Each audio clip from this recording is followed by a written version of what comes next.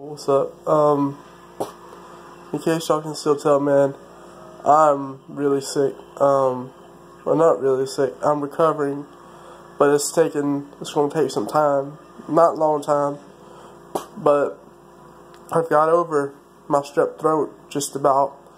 Um, now, like I'm coughing, um, but like, um, that's why I haven't been like doing no live streams or nothing like that, cause you know I've had a strep throat for going on two days now, um, and my sinuses are acting up. I'm having drippage in the back of my throat. Um, and I mean, as y'all can tell, man, I sound awful. Um, I sound awful, man. I look awful, but I've been doing the, um, you know, the routine stuff. You know, I've been staying hydrated.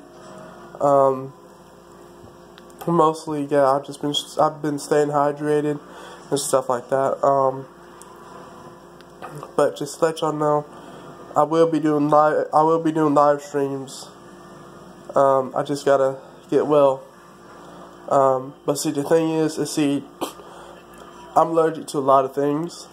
Um, so like, if I was to go into the doctors and stuff, um, like for my strep throat and stuff like that, they couldn't give me like antibiotics because of the stuff that's in them. I'm allergic to.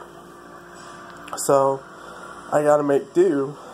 Um, but I'm I'm tough, man. Um, you know, I can I can handle it. Um, just just um just all I all I could ask for is y'all's prayers. YouTube, y'all y'all still rock.